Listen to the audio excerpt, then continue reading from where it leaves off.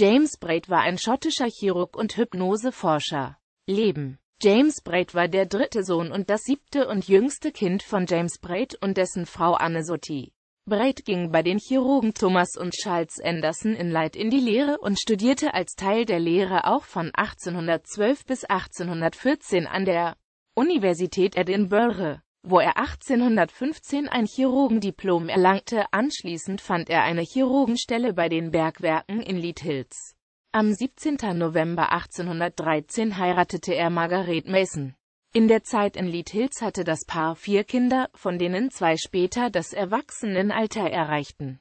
1825 eröffnete Braid eine eigene Praxis in Dumfries, zog aber 1828 nach Manchester, wo er bis zu seinem Tod praktizieren sollte.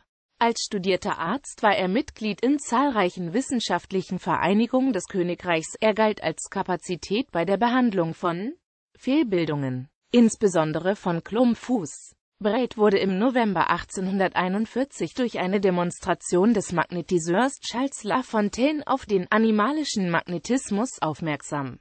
Nach weiteren Vorführungen des Magnetiseurs war Braid überzeugt, dass es sich um ein wissenschaftlich ergründbares Phänomen handele.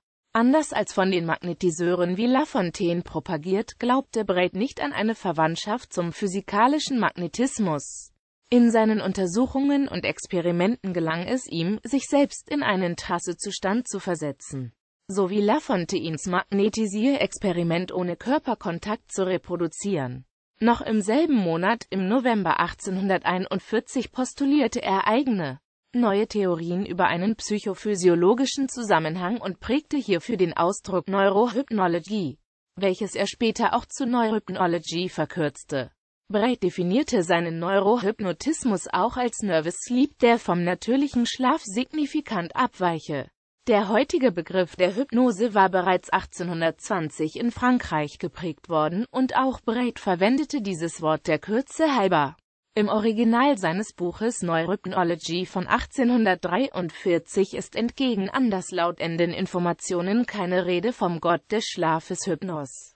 Die verschiedentlichen okkulten Erklärungen rund um das Phänomen lehnte Braid ab, wurde aber dennoch 1842 von dem calvinistischen Prediger Junile mit den satanischen okkulten Hexern wie La Fontaine gleichgesetzt, die das Werk des Teufels praktizierten.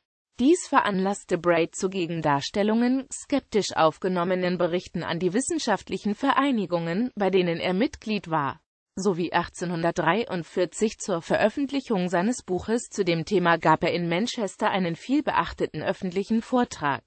Um 1852-53 prüfte Braid auch die Experimente von Michael Faraday und William Benjamin Carpenter zur okkulten Praxis des Tischerrückens, welches über lange Zeit mit Geistern erklärt wurde, danach mit einer ektenischen Kraft der Seasse-Teilnehmer.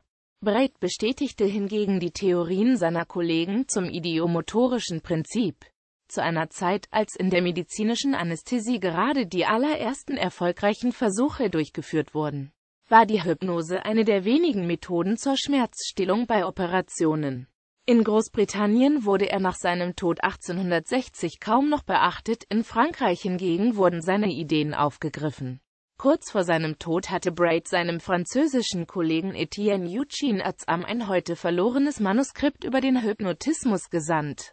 Werke James Braid Neurohypnology or The Arsenal of Nervous Sleep Considered in Relation with Animal Magnetism Illustrated by numerous cases of its successful applications in the relief and cure of disease. John Churchill, London 1843. James Braid Hypnotic Therapeutics illustrated by cases. With an appendix on table moving and spirit wrapping, reprinted from the Monthly Journal of Medical Science, Juli, p. 20. William Thierry Pryor. Die Entdeckung des Hypnotismus. Dargestellt von W. Pryor. Nebst einer ungedruckten Originalabhandlung von Braid in deutscher Übersetzung Verlag von Gebrüder Patel, Berlin 1881. William Thierry Pryor, der Hypnotismus, Vorlesungen gehalten an der K. Friedrich-Wilhelms-Universität zu Berlin, von W. Pryor. Nebst Anmerkungen und einer nachgelassenen Abhandlung von Braid aus dem Jahre 1845 Urban und M. Schwarzenberg, Wien 1890